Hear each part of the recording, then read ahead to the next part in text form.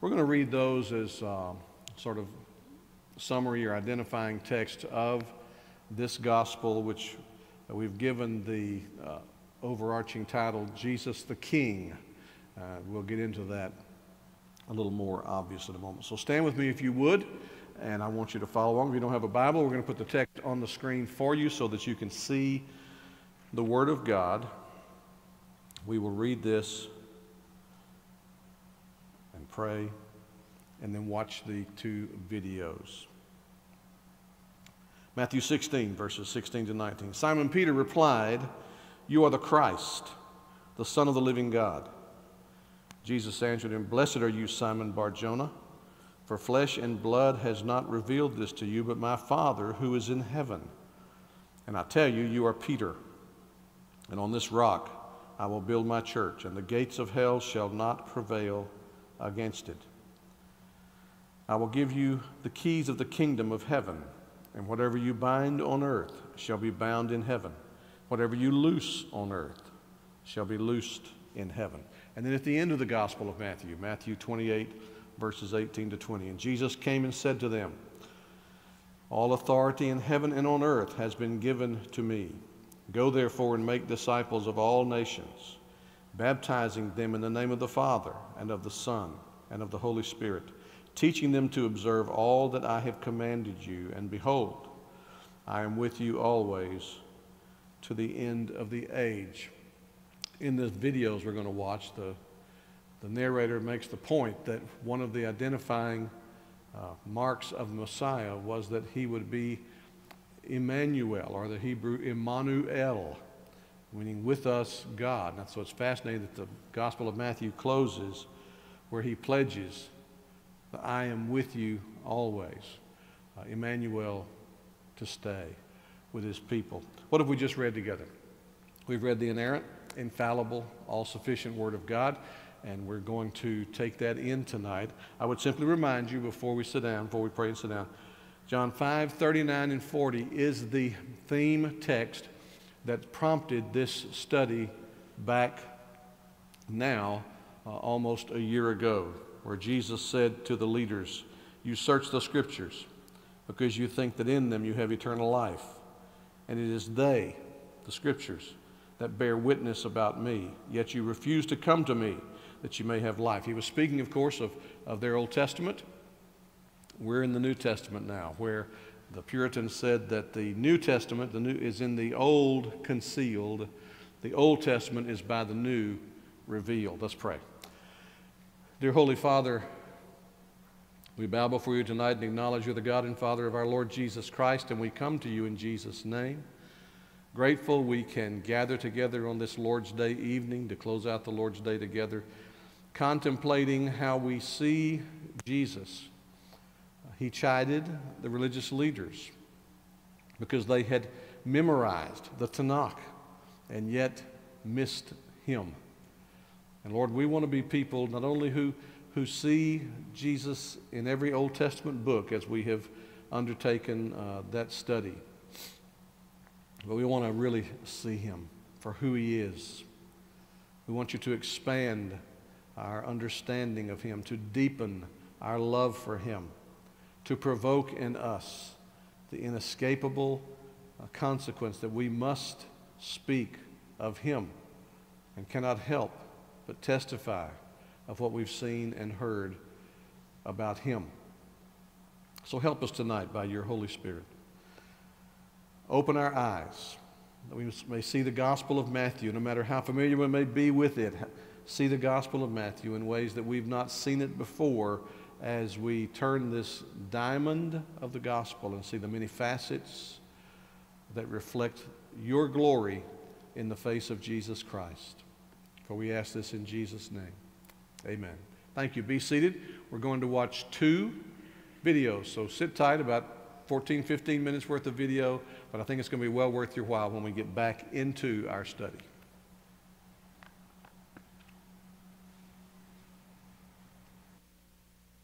The Gospel according to Matthew. It's one of the earliest official accounts about Jesus of Nazareth, his life, his death, and his resurrection. The book itself is anonymous, but the earliest reliable tradition links it to Matthew the tax collector, who was one of the twelve apostles that Jesus appointed, and he actually appears within the book itself. For about 30 to 40 years, the apostles orally taught and passed on their eyewitness accounts about Jesus, along with his teachings that they had all memorized.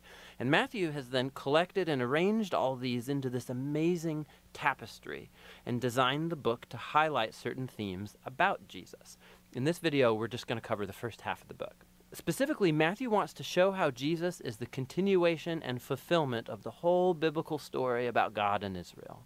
That Jesus is the Messiah from the line of David, that he is a new authoritative teacher like Moses, and not only that, Jesus is God with us, or in Hebrew, Emmanuel. And Matthew's designed this book with an introduction and then a conclusion, and these act like a frame around five clear sections right here in the center, each of which concludes with a long block of Jesus' teaching. Now, this design is very intentional and it's amazing. Just watch how this works.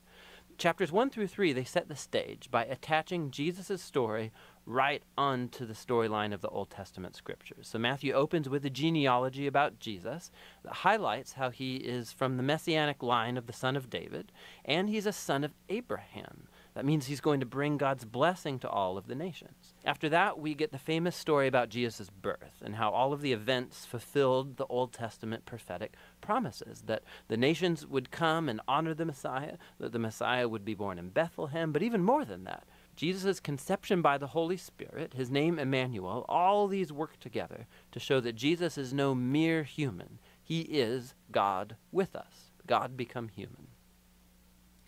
So you can see two of Matthew's key themes right here in the introduction. He's from the line of David, he's Emmanuel. But Matthew also wants to show how Jesus is a new Moses.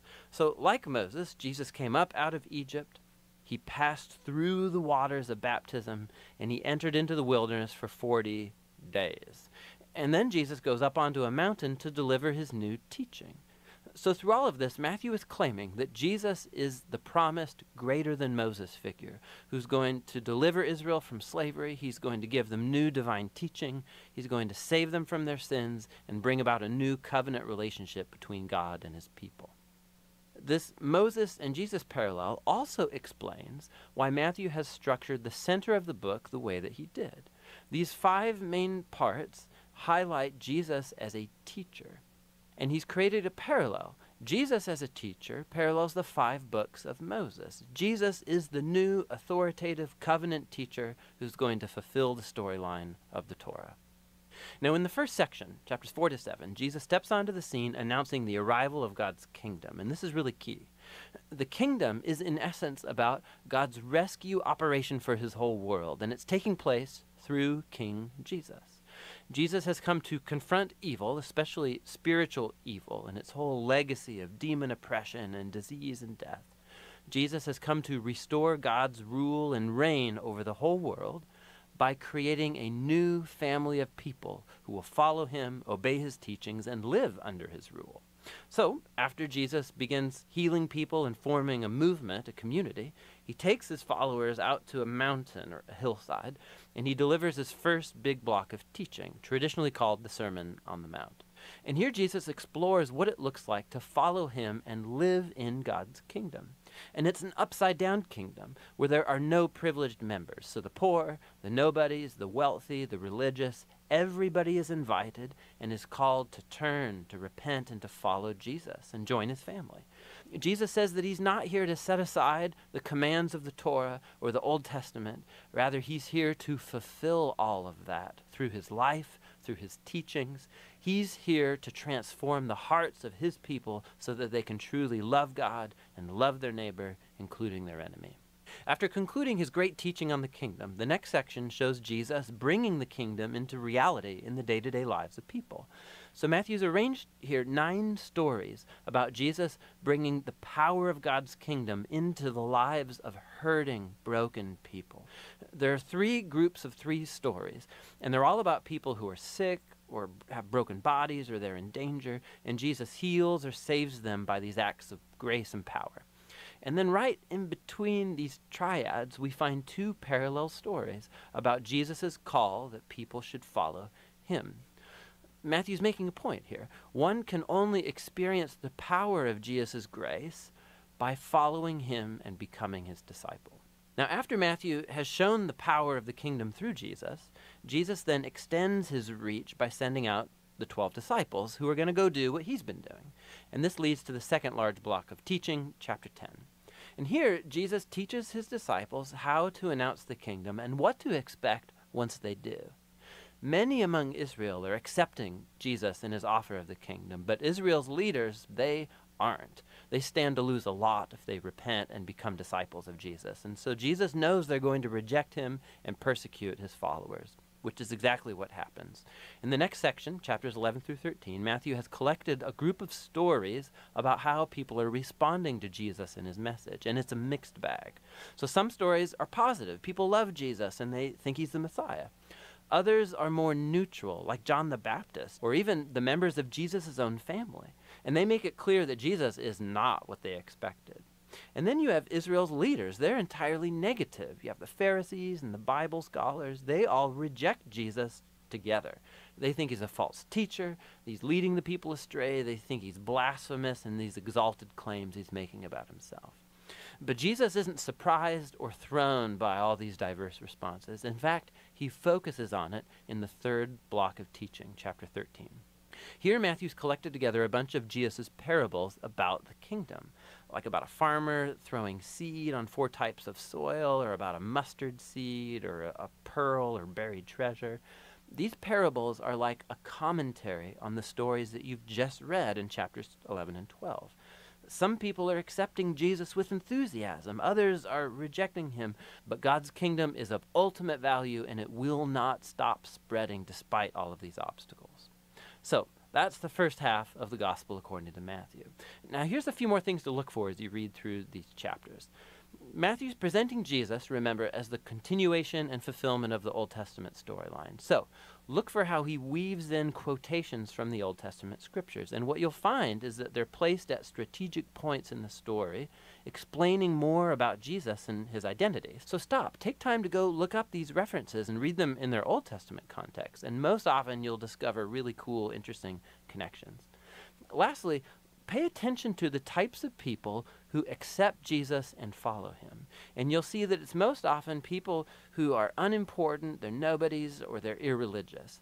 And these are the people who are transformed by their trust or faith in Jesus and follow him. And it's the religious and the prideful who are offended by him. So, how is this tension between Jesus and Israel's leaders going to play itself out? That's what the second half of Matthew is all about.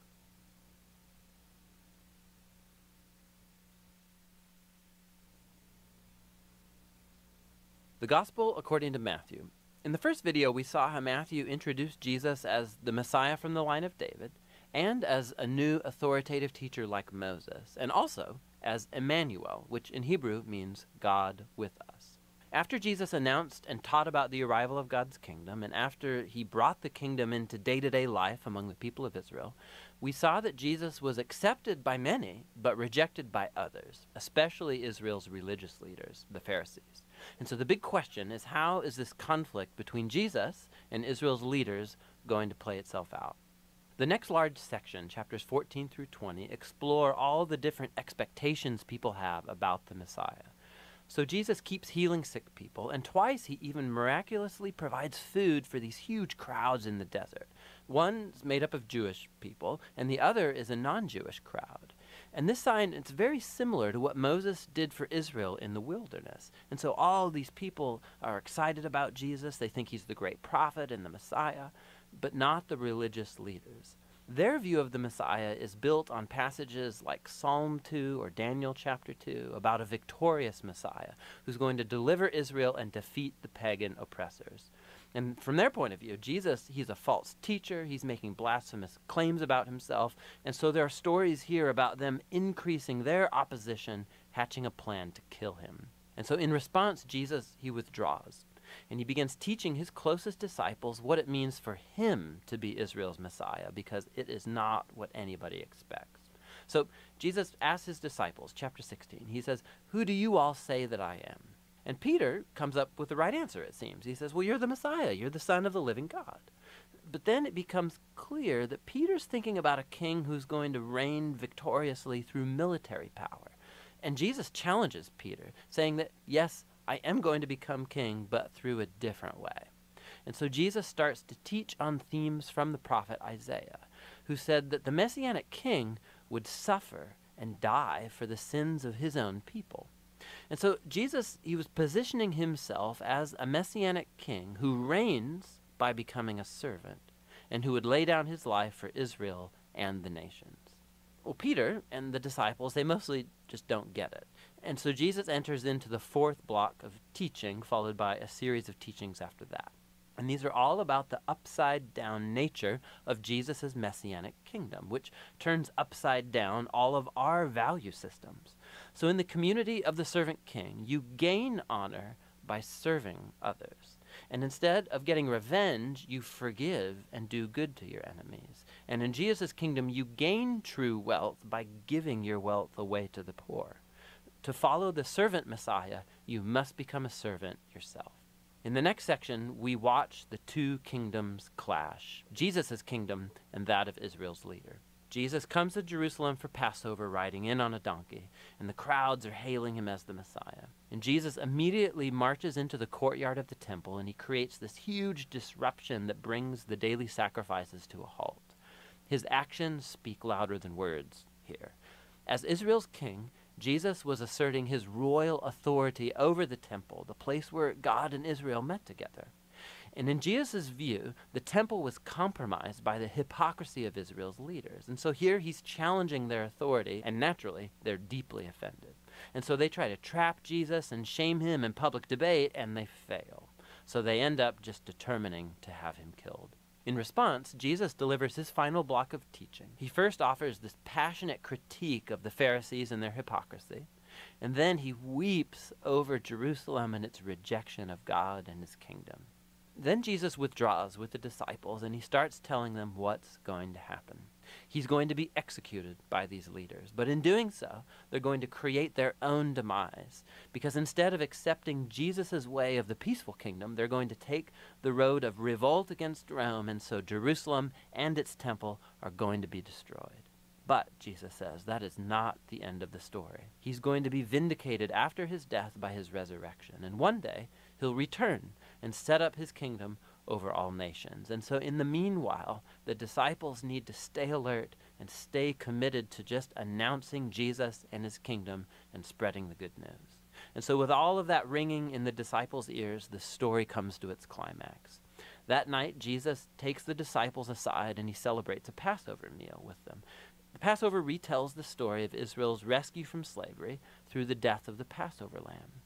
And then Jesus takes the bread and the wine from this meal as new symbols, showing that his coming death would be a sacrifice that would redeem his people from slavery to sin and evil. After the meal, Jesus is arrested. He's put on trial before the Sanhedrin, a council of Jewish leaders. And they reject his claim to be the Messiah. They charge him with blasphemy against God. Then Jesus is brought before the Roman governor Pilate. And he thinks Jesus is innocent but he gives in to the pressure from the Jewish leaders and he sentences Jesus to death by crucifixion.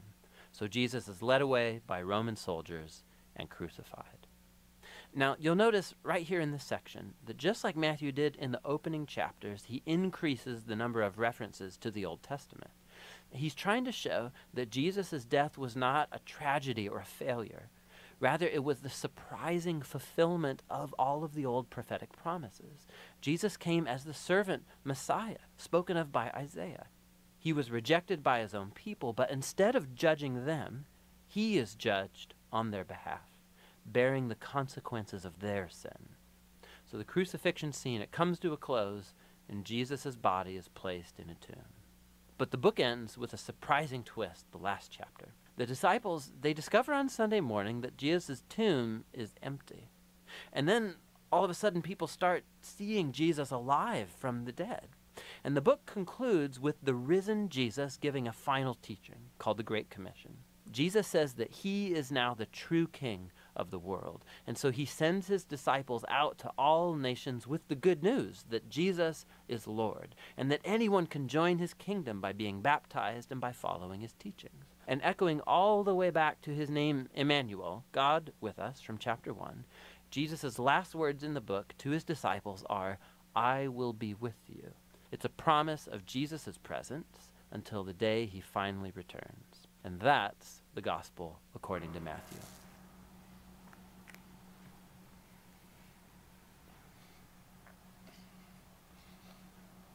I would remind you that these videos are available on YouTube if you uh, want to go to YouTube and just type in a search for, for Bible Project and then whatever book of the Bible you're looking for.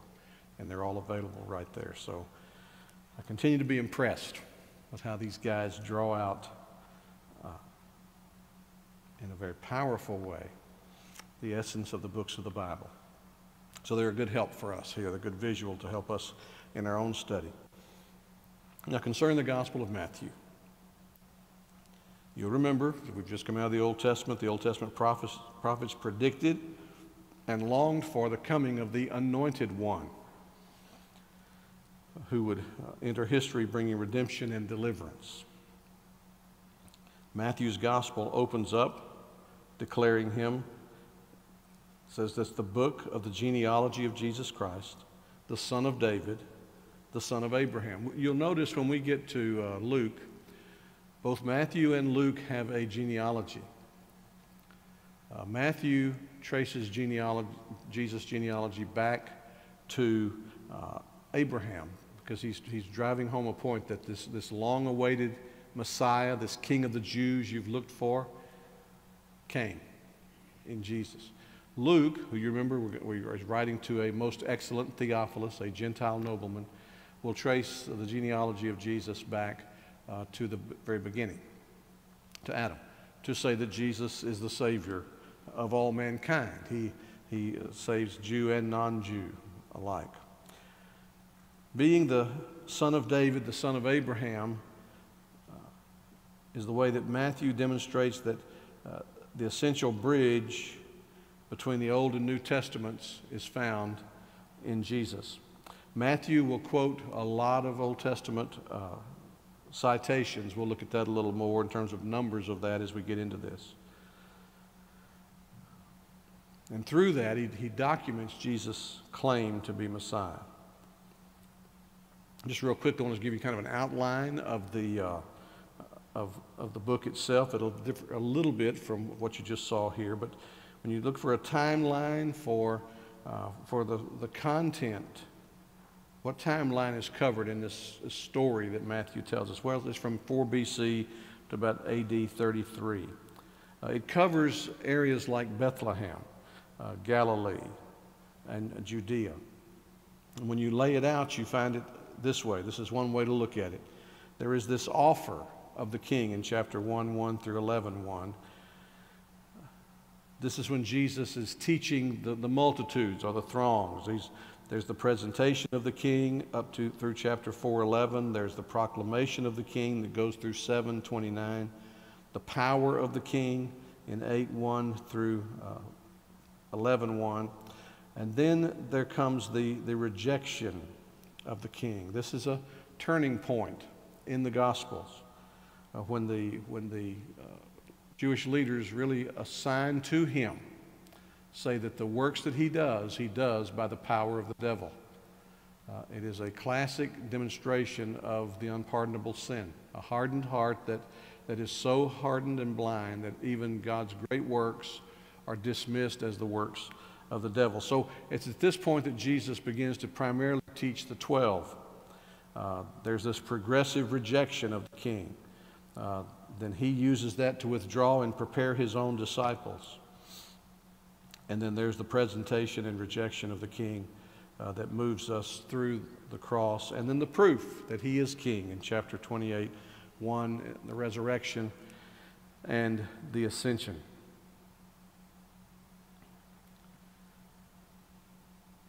Matthew, the Gospel of Matthew, is placed first in the New Testament.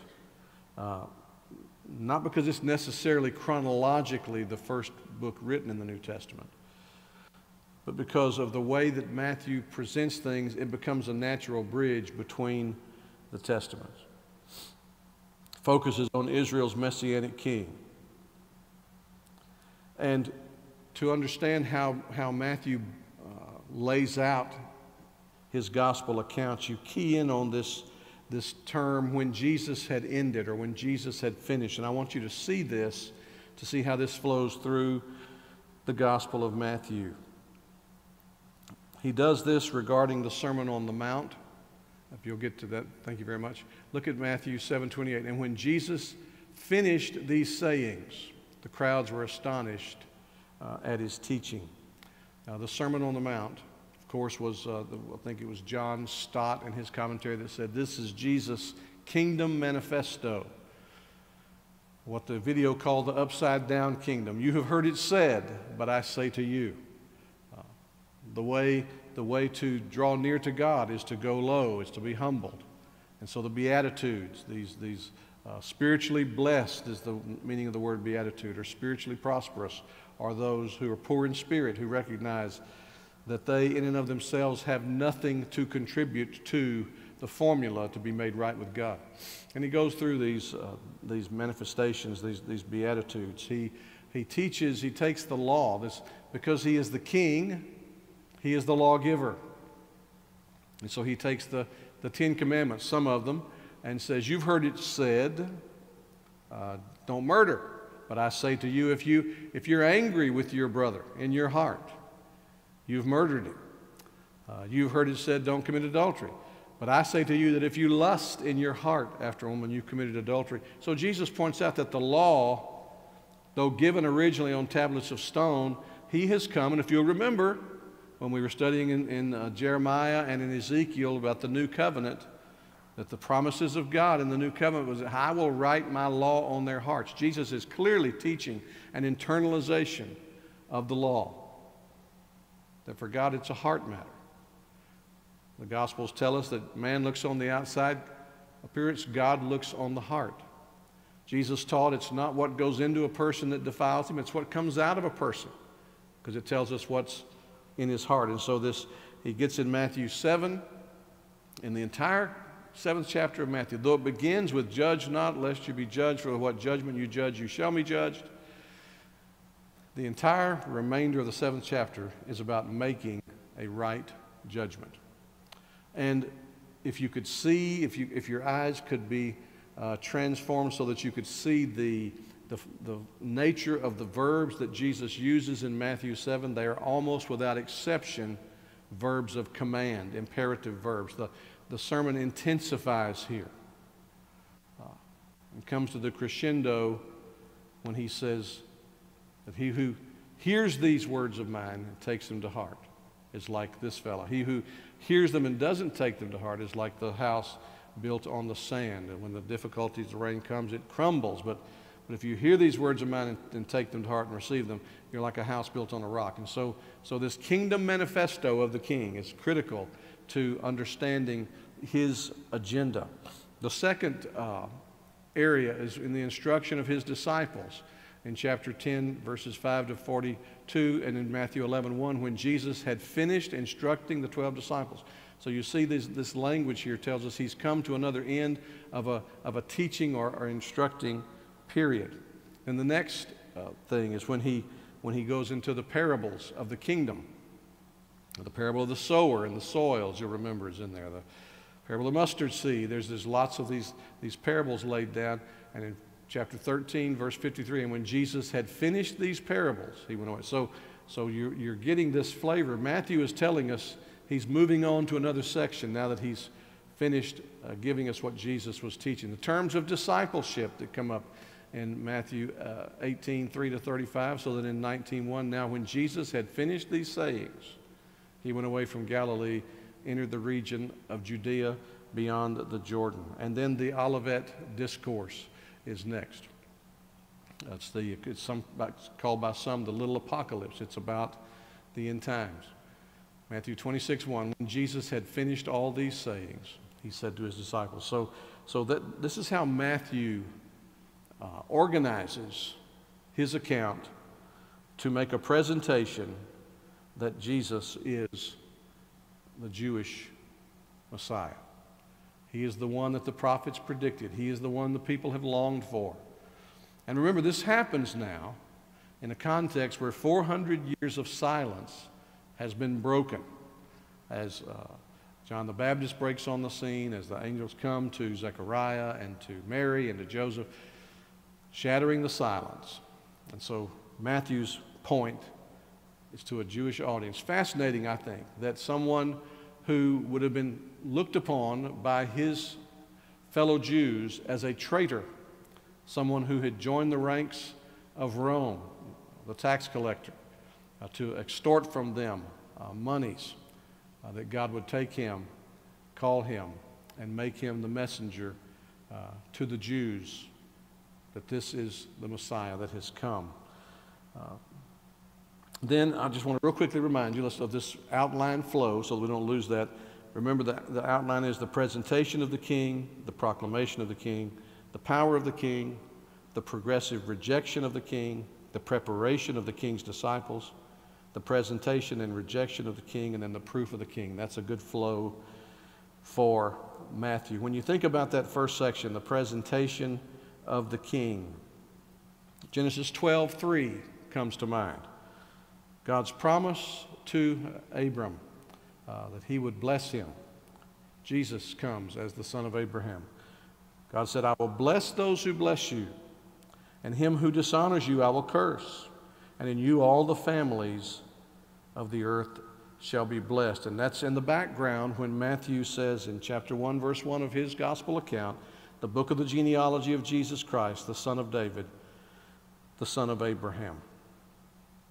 Jesus is the son of David. You'll remember in, in, chapter 2, verse 2, we don't, we don't have this on the, on the screens for you, but when the, when the Magi, uh, when these uh, fellows who study the stars came to Herod, said, Where is this one who's born king of the Jews? We've, uh, we've seen his star in the east, and we've come to worship him, to pay homage.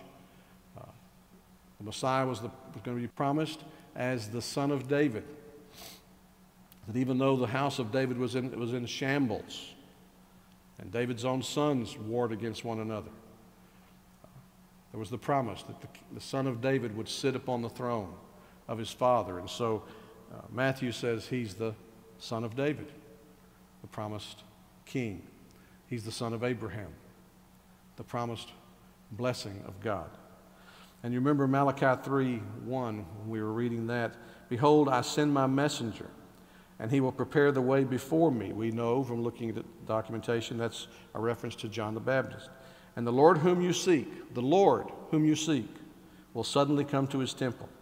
And the messenger of the covenant in whom you delight, behold, he is coming, says the Lord of hosts. So Jesus comes. Uh, the sinlessness of this king is proved when he overcomes the satanic temptations that are included in this first section.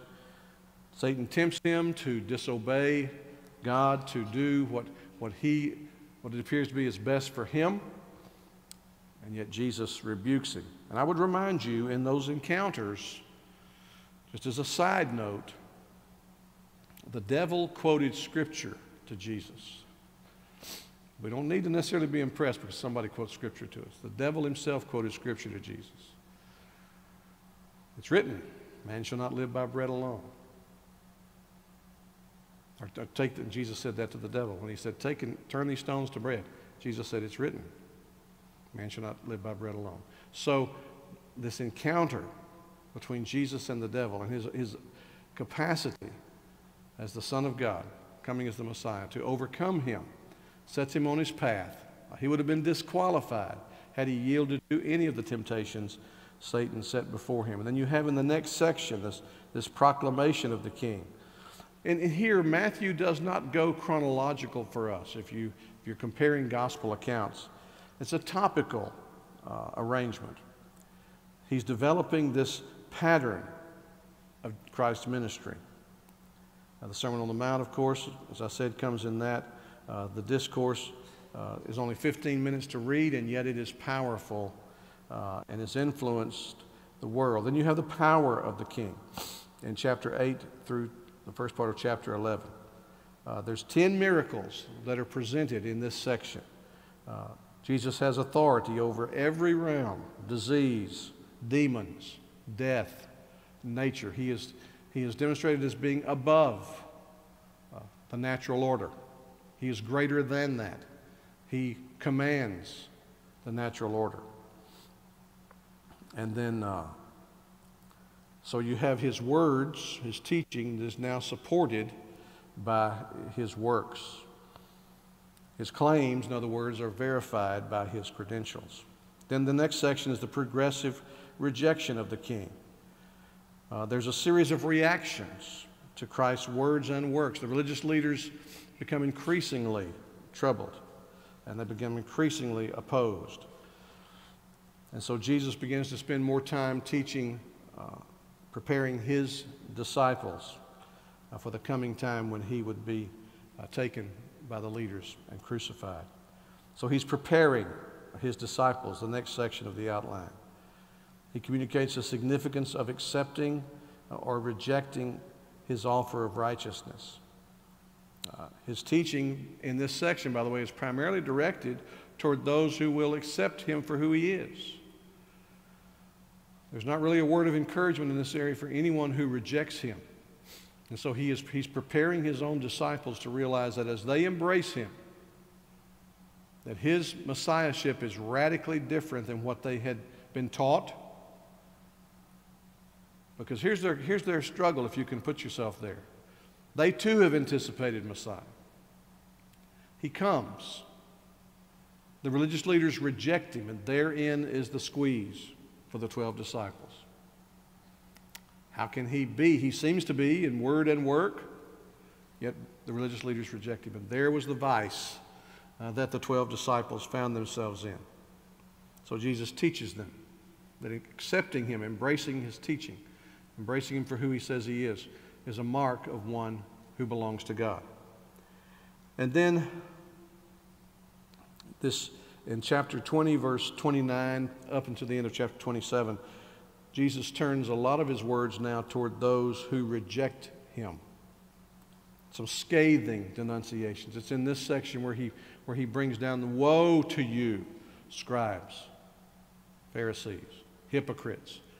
Woe to you, the hypocrite word, of course, is the Greek word hypokrates. It means those who put on a mask. He was calling them pretenders.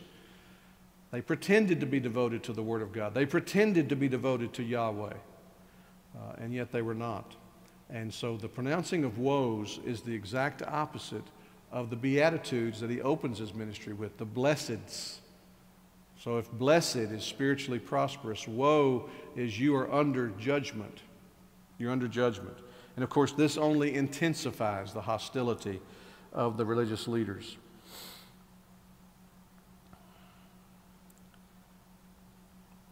And it's in this section also, by the way, that uh, he predicts the terrible fall of Jerusalem, uh, and the Jews will be dispersed.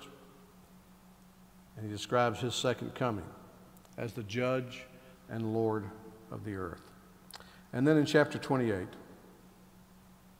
the empty tomb, where he proves that everything he said he was, everything he said he would do, everything he said he was going to do, uh, is stamped with this thing that they have never seen before. He has resuscitated people in his miracle ministry, but he himself rises from the grave three days later. He is indeed the prophesied Messiah. He is the very Son of God. And someone who can conquer sin and death and hell and the grave uh, cannot be stopped, uh, no matter how intense uh, the opposition is against him. So, his death on the cross is ghastly. Uh, you had to have the eyes of faith to see what was going on there. Yes, it was the Jewish leaders who convinced the Romans to crucify him.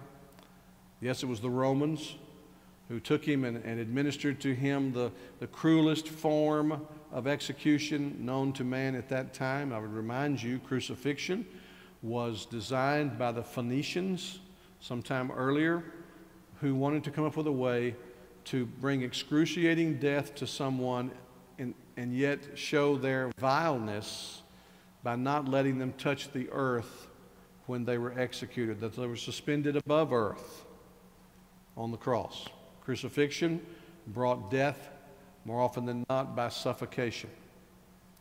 And the victim hanging on the cross, uh, sometimes tied by ropes, uh, Jesus was held there by nails, that they would fight and struggle to hold up. If you can imagine being there, just, just holding on by ropes to sustain that without giving way to that. And when you give way to that, it would cut off your, your airway and struggle to breathe. And, you, and, and of course, you know, if you've studied the, the trauma scale, that the inability to breathe is right near the top of that. If you ever, when you were a child, were playing and you had the breath knocked out of you, it is a frightening thing to experience. And that's what Jesus was experiencing uh, in addition to the bloody, ghastly mess that he was from the beatings he endured as he fought there on the cross.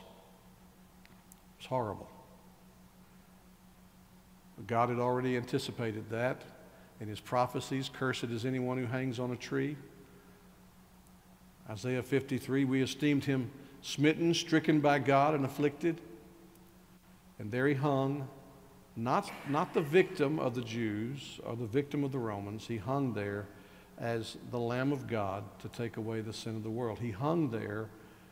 What they couldn't see, except with the eyes of faith, was that he had taken upon himself the sins of all who would trust in him. And he satisfied God's divine justice by suffering and dying in your place and in my place.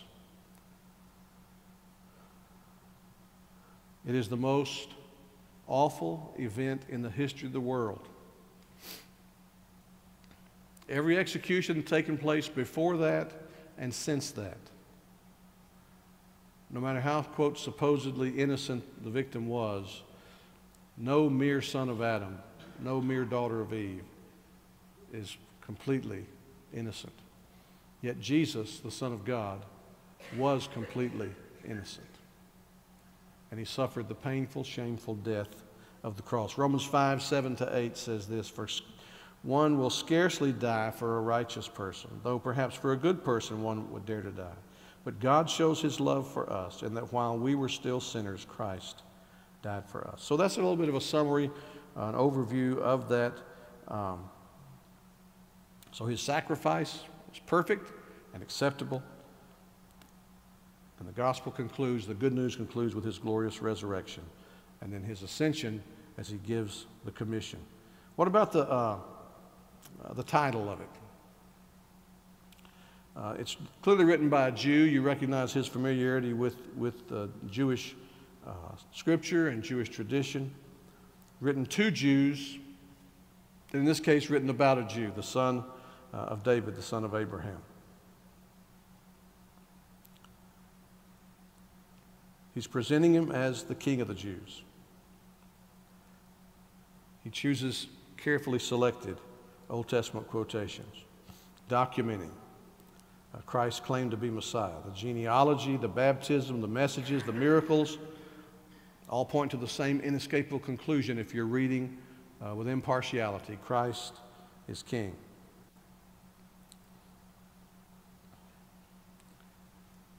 If I want you to look at just real quickly at Mark 2:14 and Luke 5:27 because of the title. The title, uh, an early date this gospel was given the title Kata Mattheon. Uh, according to is the word kata. So, the, so this, this treatise according to one named Matthew. Look just real, real quickly. Mark 2:14. And as he passed by, he saw Levi, the son of Alphaeus, sitting at the tax booth, and he said to him, Follow me. And he rose and followed him. And then Luke 5 27. After this, he went out and saw a tax collector named Levi sitting at the tax booth. And he said to him, Follow me. His name was, was Matthew Levi. Uh, The author, as our video said, is attributed to, uh, to Matthew, uh, the tax collector, and there's not really been a serious challenge. You've been with this long enough now in the study this, that, that, that there will come, even from within evangelical scholarship, challenges sometimes to who the author is in the Old Testament books. No serious challenge given that this is Matthew, the tax collector. It was known and early, early and accepted quickly in early church history. Uh, Eusebius, who was a church historian, uh, quoted a statement by, uh, by Papias, who was around 140 AD, that Matthew wrote the sayings in Aramaic. Though we found no Aramaic copy of, of Matthew's gospel, we told you about the language when we are studying those languages, the intertestamental period of the Hebrew and the Aramaic, a sort of a bridge language, and then the Greek language dominating the culture. Some believe that Matthew wrote an abbreviated version of Jesus' sayings uh, in Aramaic before writing his gospel in Greek for a larger circle of readers. This, would not be uncommon. Your, your video said that for 30 or 40 years they gave an oral tradition. It'd be reasonable to believe that these disciples wrote down what Jesus taught them, many of the things he had to say, and that's why they would come, uh, would have them available. That's why when you would get into the whole gospel discussion, where we talked about last week the synoptic challenge of who wrote first, that they're clearly drawing upon sources when you can lay, uh, particularly Matthew, Mark, and Luke, side by side, parallel versions of them in the Greek, and there are whole sections that are word for word duplicated. It's a, it's a good, uh, good likelihood someone's, someone's uh, taking from someone else, which authenticates, by the way, the gospel accounts. He was a tax collector, Matthew the son of Alphaeus, as we read in Mark 2. Uh, he was disliked by Jewish countrymen.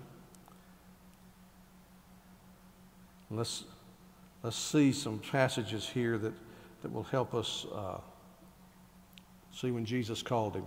Matthew 9, 9 to 13. As Jesus passed on from there, he saw a man called Matthew sitting at the tax booth, and he said to him, Follow me.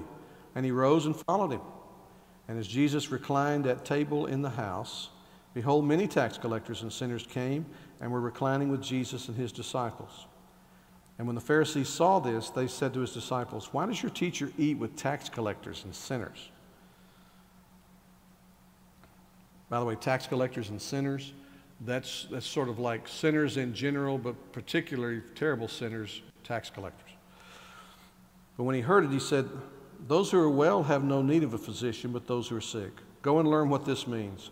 I desire mercy and not sacrifice.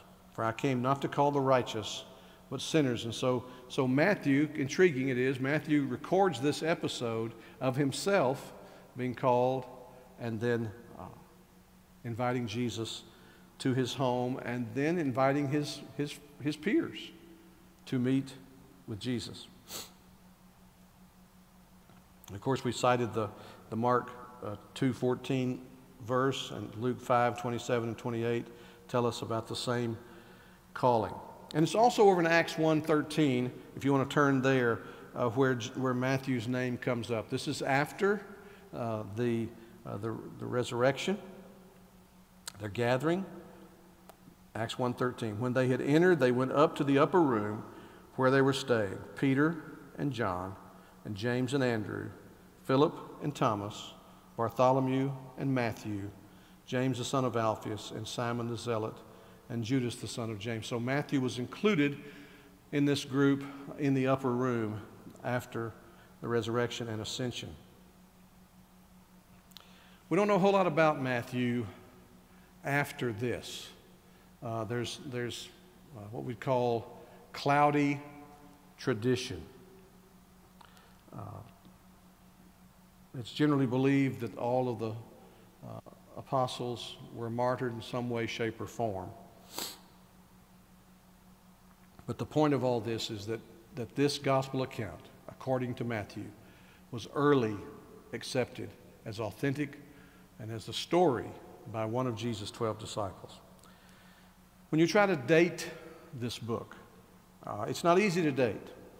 And if, if you do serious study on this, you'll find people suggesting anywhere from 40 AD, which would have been within about uh, seven years after Jesus' ascension, to 140 AD. Uh, and they, they key off of things like in Matthew 27 8. Therefore, that field has been called the field of blood, where Judas Iscariot uh, hanged himself and, and, was, and, and, fell into the field to this day. Uh, to this day. And that's what they're keying on. Uh, Matthew 28 15. So they took the money and did as they were directed. And this story has been spread among the Jews to this day. Well, what is this day? Seems it's, it's general consensus that using that kind of language means that a substantial amount of time has passed since those events occurred.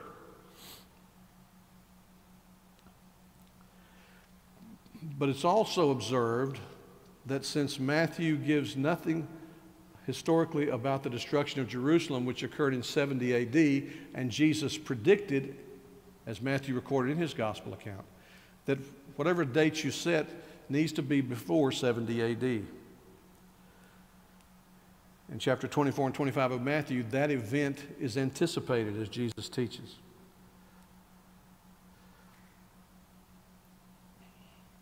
Some have suggested that when you lay the gospel accounts aside, Matthew, Mark, and Luke, that, that Matthew relied upon Mark's account. Remember Mark's account, we've gone through Mark here. Mark's account is Peter's memoirs. So he relied upon the things written by Mark.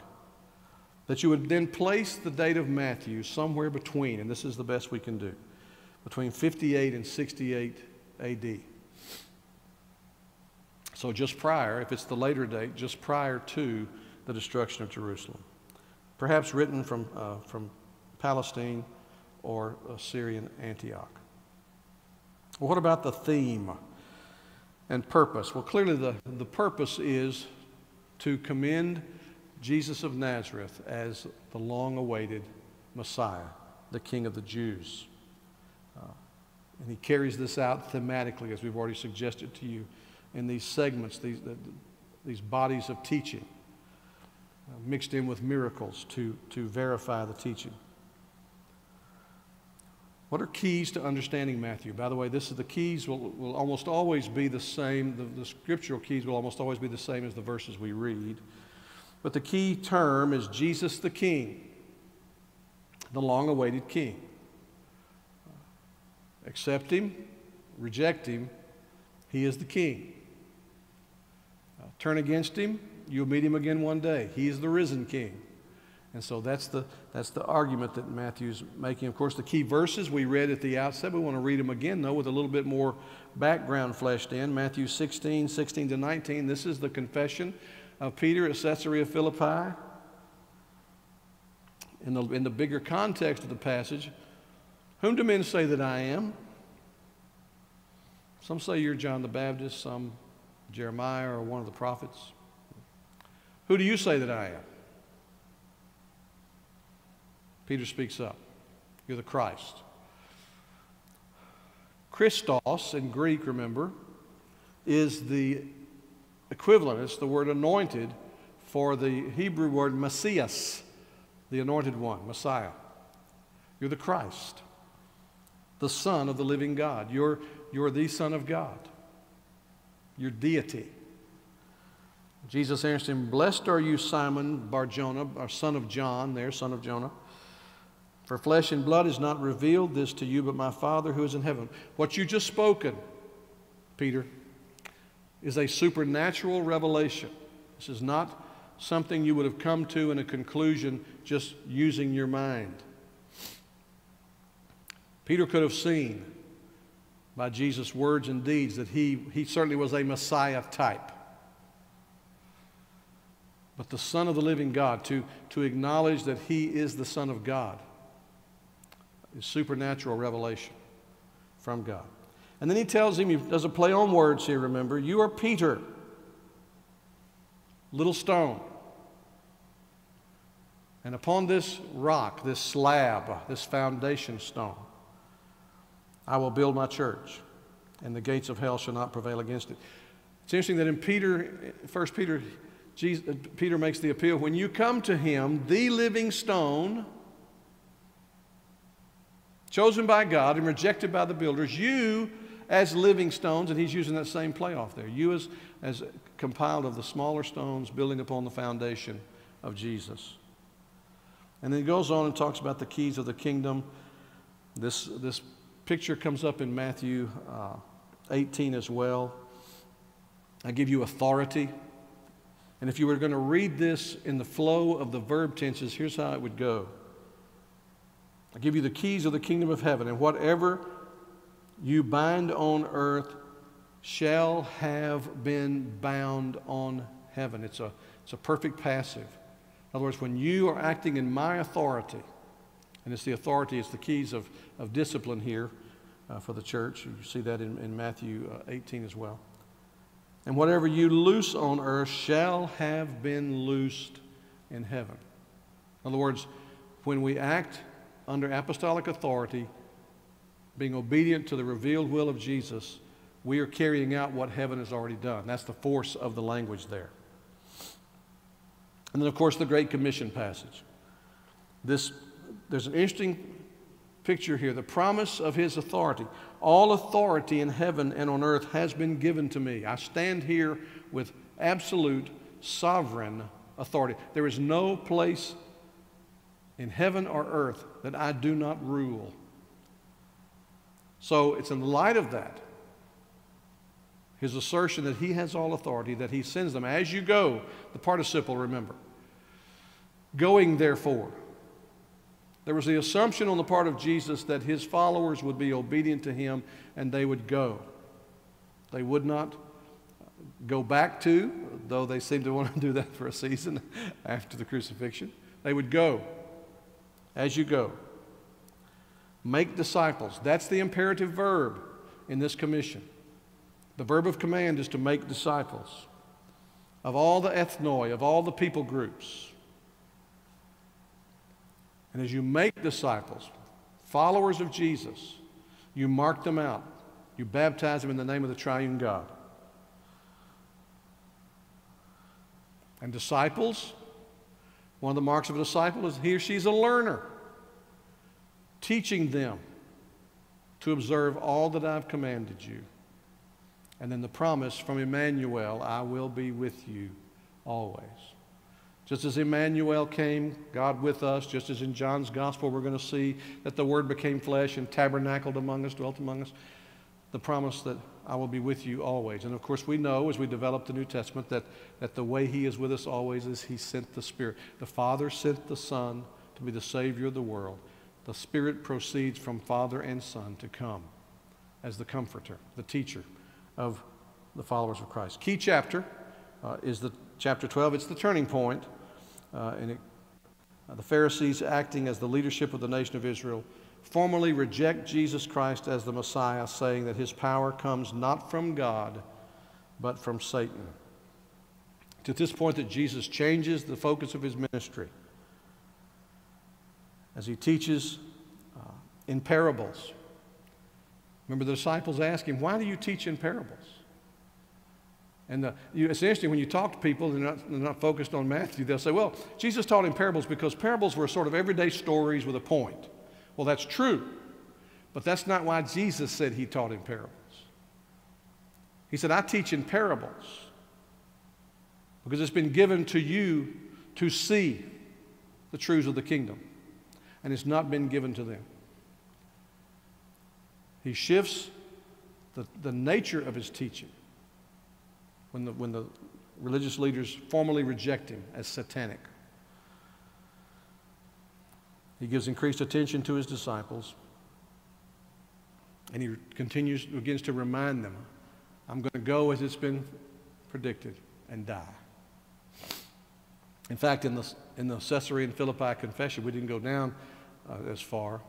But Jesus began to tell them this, and Peter said, No, that's not going to happen. Not on my watch. And Jesus, who had just commended, Blessed are you, Simon, son of John, said, Get behind me, Satan. No one would stop him from his purpose being here. Well, okay, how do you see Jesus in Matthew? Well, he is everywhere in Matthew, obviously.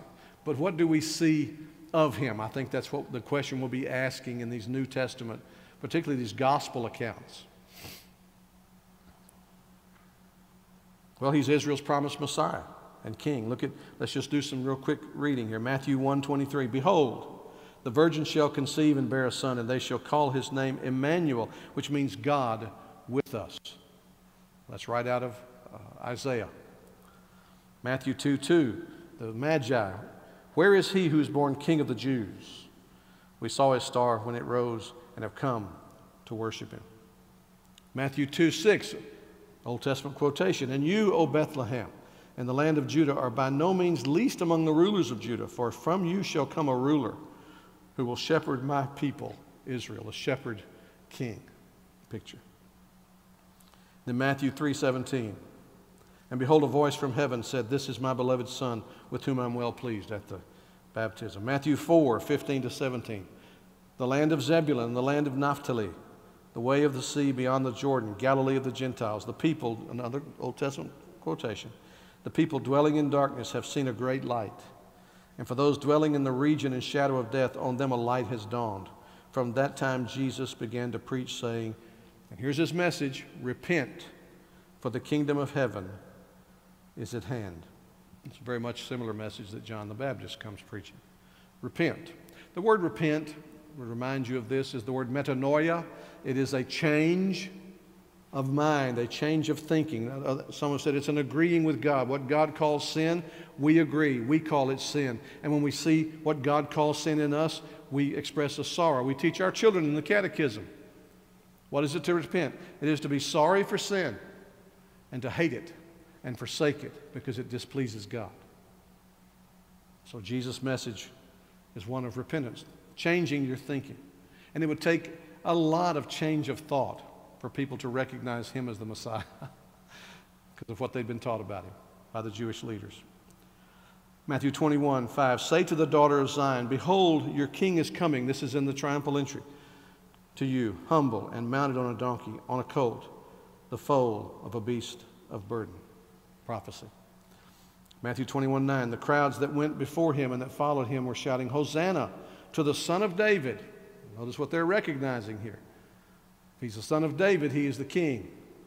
Blessed is he who comes in the name of the Lord. Hosanna in the highest. Lord, save. That was their cry.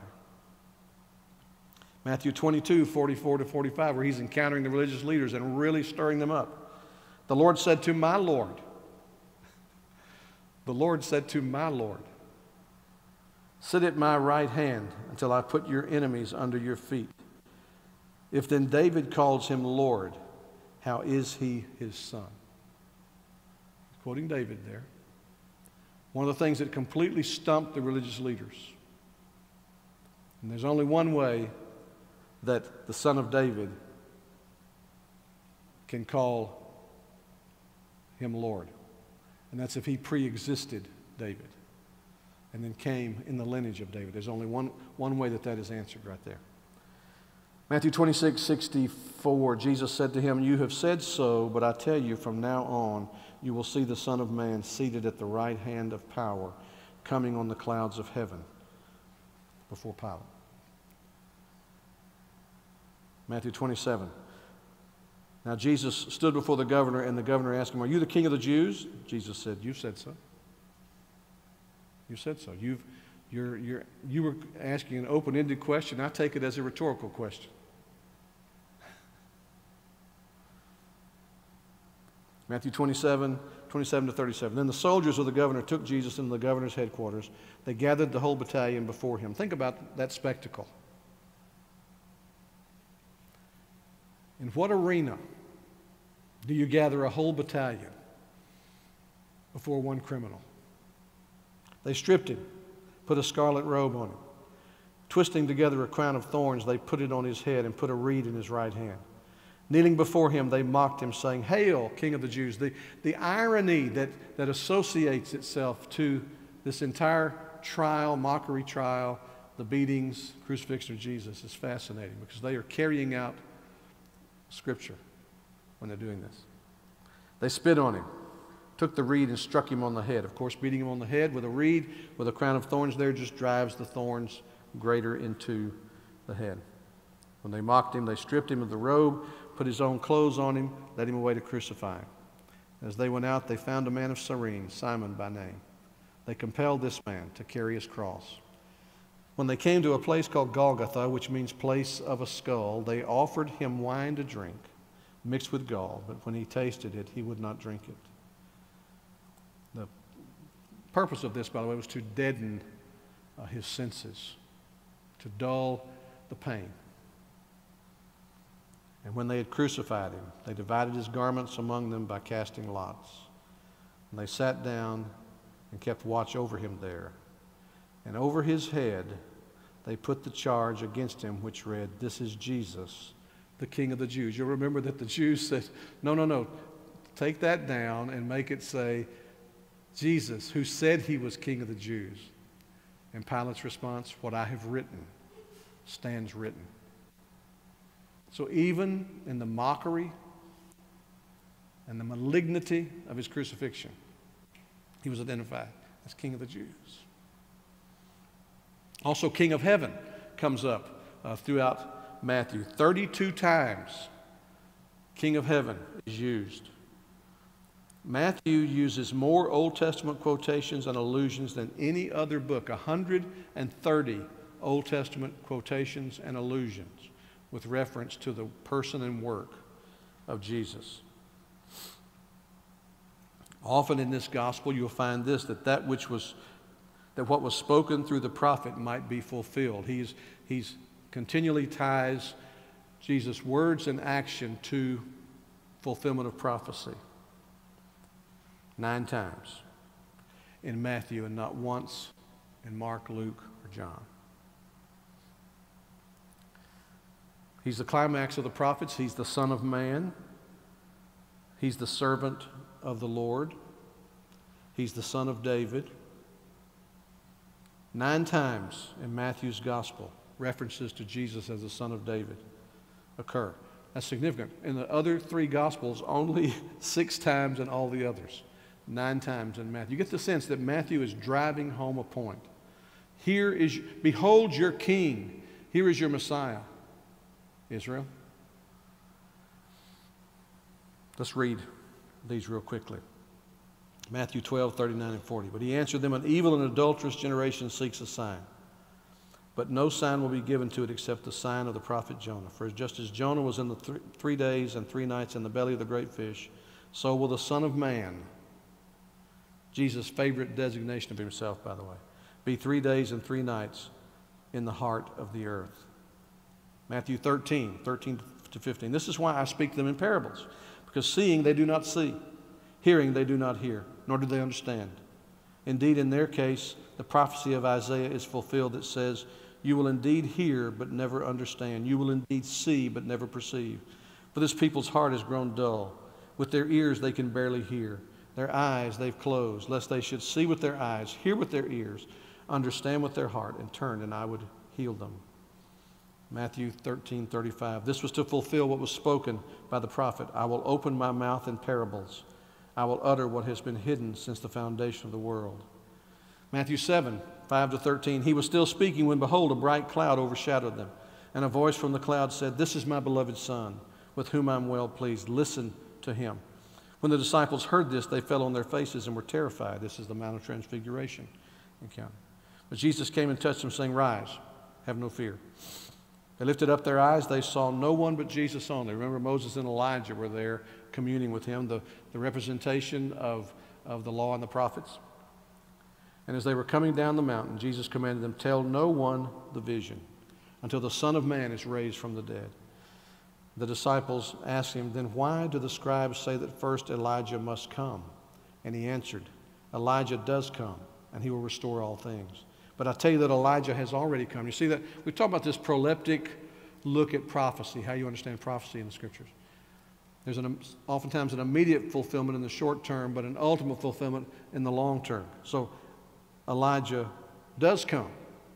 He'll restore all things. But I tell you, Elijah has come. And they did not recognize him, but, to, but did to him whatever they pleased. so also the Son of Man will certainly suffer at their hands. Then the disciples understood that he was speaking to them of John the Baptist as, as Elijah. But what's the contribution of Matthew to the body of Scripture, particularly the New Testament? Well, he traces the genealogy back to Abraham. He makes this compelling, really irrefutable case that Jesus is the son of David, the son of Abraham. He is the, he is the promised king, the Messiah of Israel. He shows connections of prophecy and fulfillment, prophecy and fulfillment in the life, uh, teachings, and ministry of Jesus. He, uh, he speaks uh, of Jewish customs and traditions, of Mosaic law, this lost sheep of the house of Israel language. He develops the theme of the kingdom because the Jewish reader would wonder why Jesus did not establish the promised kingdom if he was indeed Messiah. In other words, what they'd been taught, he didn't fit their understanding of what, what it would look like when the Messiah came to establish his kingdom. But there's also, I mean, with, with all of Matthew's emphasis on Jesus being the king of the Jews, there's also a good news portion of this to those who are not Jews one of the parables. Matthew 13, 38. The field is the world, and the good seed is sown. Uh, the good seed is the sons of the kingdom, the weeds are the sons of the evil one. So the, the field is the world, not just Israel. Of course, on the Great Commission, make disciples, we read this earlier, of all the ethnoi, of all the people groups. in Matthew 8 in his teaching, 11 and 12. I tell you, many will come from east and west and recline at table with Abraham, Isaac, and Jacob in the kingdom of heaven. While the son, and think how this settled on the Pharisees. While the sons of the kingdom will be thrown into outer darkness, in that place there will be weeping and gnashing of teeth. Matthew 21, 33 to 43. Here another parable. There was a master of a house who planted a vineyard, put a fence around it, dug a wine press in it, and built a tower and leased it to tenants and went into another country. When the season for fruit drew near, he sent his servants to the tenants to get his fruit. The tenants took his servants and beat one, killed another, stoned another. He sent other servants, more than the first, and they did the same to them. The prophets were treated this way. Finally, he sent his son, saying, They will respect my son. When the tenants saw the son, they said to themselves, This is the heir. Come, let us kill him and have his inheritance. And they took him and threw him out of the vineyard and killed him. When therefore the owner of the vineyard comes, what will he do to those tenants? They said to him, He will put those wretches to a miserable death and let out the vineyard to other tenants who will give him the fruits of their seasons. Jesus said to him, Have you never read in the scriptures? now, again, how do you think that falls on the ears of a Pharisee. A Pharisee had to memorize the Old Testament as a part of his training to become a Pharisee. Have you never read in the Scriptures? The stone that the builders rejected has become the cornerstone. This was the Lord's doing, and it's marvelous in our eyes. Therefore, I tell you, the kingdom of God will be taken away from you and given to a people producing its fruit. In summary, 60% of Matthew's 1,071 verses contain the spoken word of Jesus.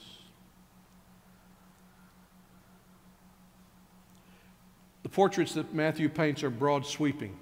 You don't have fine details very often. They're organized around things like discourses, miracles, parables, questions,